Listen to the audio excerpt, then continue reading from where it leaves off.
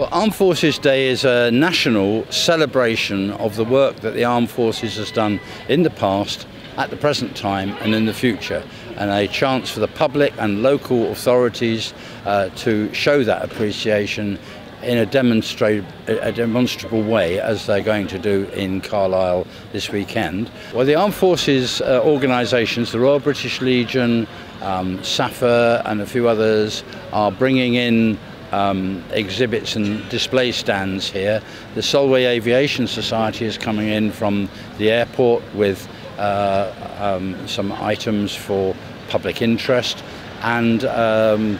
the RAF Spadeadam particularly because it's the celebration of also 100 years of the Royal Air Force are bringing a number of unusual exhibits down from Spadeadam uh, uh, and putting them on display. At the end of the day at 3 o'clock in the afternoon uh, there will be a parade assembling uh, here in the centre of Carlisle and we will come forward uh, to where the Mayor and other VIPs will um, present a citation of their appreciation to the armed forces. And I would encourage on this day particularly for some of the people that would uh,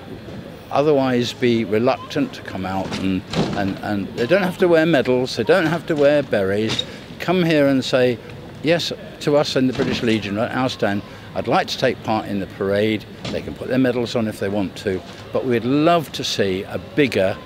uh, veterans parade here to celebrate what they've done.